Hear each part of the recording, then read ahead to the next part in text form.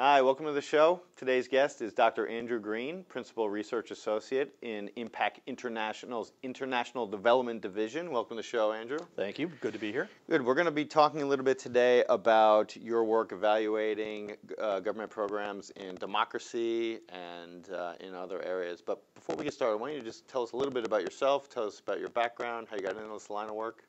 Um, well, I'm a PhD in political science, and I've always been interested in democratic development, and, and, it's really what brought me into it out of a banking career previously.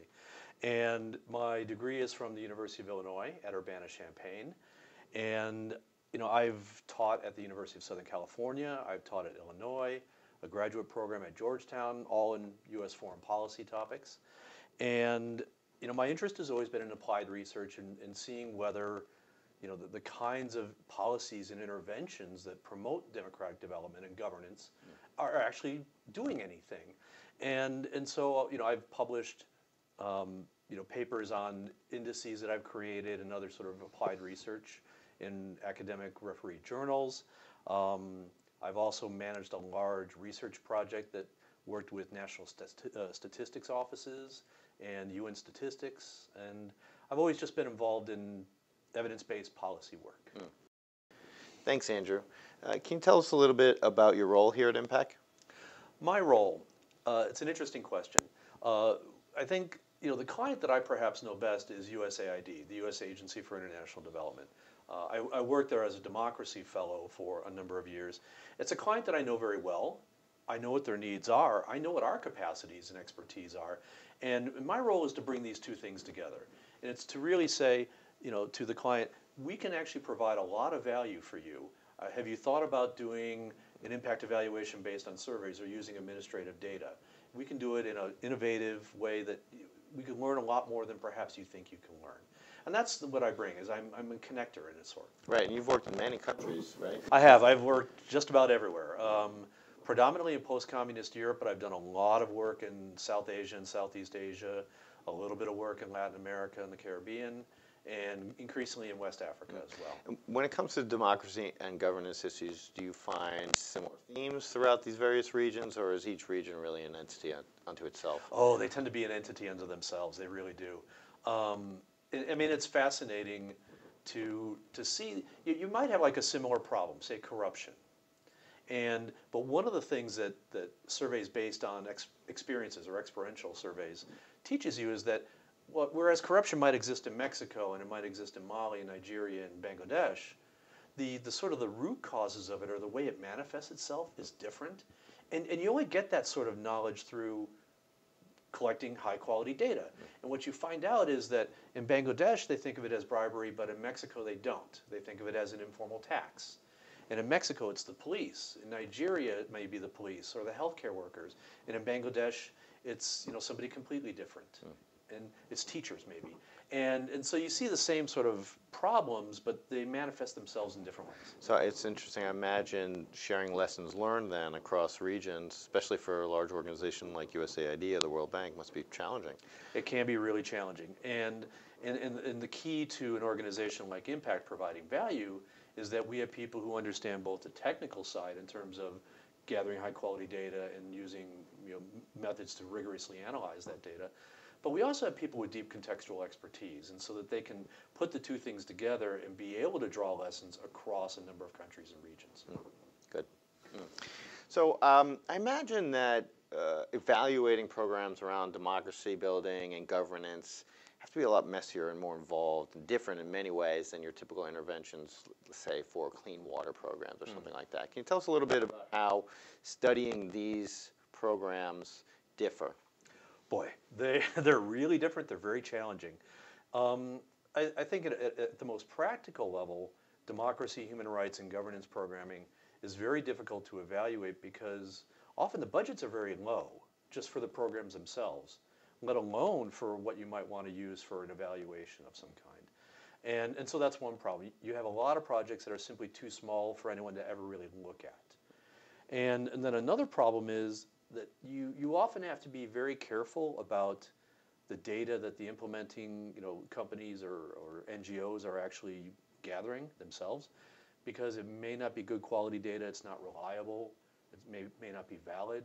And, and so you, you always have a, a sense of skepticism about whether you can use this, these data for anything.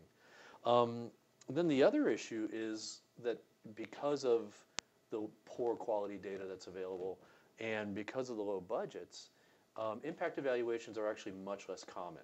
Um, even just surveys to get baseline, midline, and endline data are, are less common. And so I think one of the challenges of doing evaluations of democracy, rights, and governance work is that you have to be very innovative and creative about the kind of data that you're collecting. And you have to be very, very careful not to draw too many conclusions from it. And, and certainly you can't examine counterfactuals or any sort of causality. Hmm. Maybe you can give us an example uh, or two of some of the countries that you've worked in where these principles you've applied them.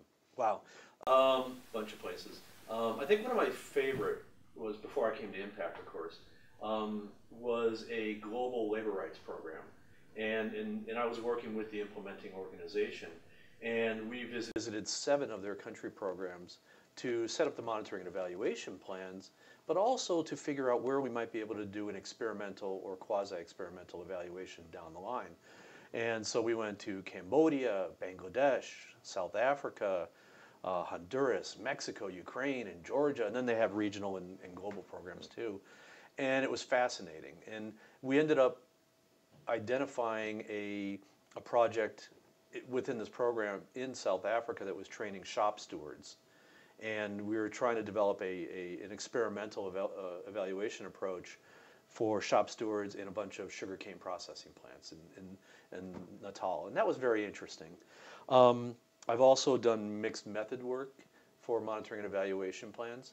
Uh, for example, in Montenegro, we I was working with an implementer for a governance project, and they were doing things like administrative law reform and anti-corruption and judicial work.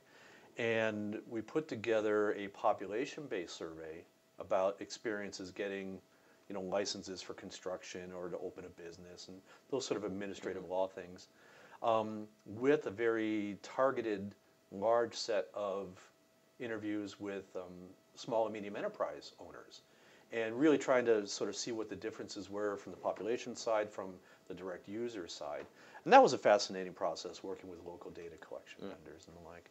Um, and then a, a, slightly different sort of thing was doing a strategic or a forward-looking, a prospective um, assessment of the political party system in Peru. And that was fascinating. It was at a time when Fujimori might have come back, and we traveled in multiple places around the country talking to regional and local political party leaders and trying to figure out what was sort of the, the scope or what was the room for a potential program there. Fascinating, mm. absolutely fascinating. Good. Thanks, Andrew. Can you tell us a little bit about trends or current issues as it pertains to monitoring and evaluation? Yeah, I, you know, I think there are three. Um, one is the development towards looking at cross-sectoral programming, which is programming that mixes elements of, say, democracy and governance with health or with land tenure or with sanitation. And the idea is it's less about democracy and governance as an end as it is democracy and governance as a means to other ends. And, and you can see that, for example, in local government, right? So it's about, you know, perhaps making the local government, helping it be more efficient in delivery of social services to their local population. Or maybe a human rights-based approach to providing health care. Um, and, and, something along that line. And so it's democracy and governance as a means, not an end. And that's a, that's a different way of thinking about it. Um, and, and it's a way that really brings together a lot of different programming interventions and makes them more effective than they would have been otherwise, I feel. Um, I think a second one is actually the use of impact evaluations or experimental or quasi-experimental. The, I mean, this sort of depends on the sector that you're in. For example, healthcare has been doing it for a long time. Education and some areas of economic development have been using experimental evaluations. But other sectors and other agencies, other donors haven't been. And so I think one of the things that we're seeing is experimental and quasi-experimental evaluations moving into the democracy, rights, and governance area. And, and you see now, you know, the Brits or the Swedes or somebody else are now picking this up more than they used to before. And I think a third one is more use of local partners, capable local partners. And that's something actually that we do very well here. When we go into a country, we work with lo- local data collection vendors, but we work with local experts, you know, PhD economists or you know, healthcare experts, and, and we, we draw and we tap into that local expertise deeply in almost every project that we have. Right, because who else knows how to gather the data, the lo- local customs and cultures better than the people who live there? Exactly. Right. Great. This has been very good, very informative. I just want to end by asking you what about this work do you find personally rewarding? You know, it's, it's, it's the technical challenges, um, you know, particularly in the democracy, rights, and governance side. Every project's different. Every context is different. And it's just, it's really fun to find out, oh, how can I actually collect this data? What's going to be meaningful? What's going to be useful? And, you know, what, what is it that I need to learn and how am I going to do that? Everyone's different. And, and so it's not a cookie cutter process. You know, you, you, you walk into it, you got to learn and learn quickly and figure out how to do something. I love the challenge. That's great. Dr. Green, thank you for your time. And thank you for watching. That was Dr. Andrew Green, Principal Research Associate here at IMPAQ International.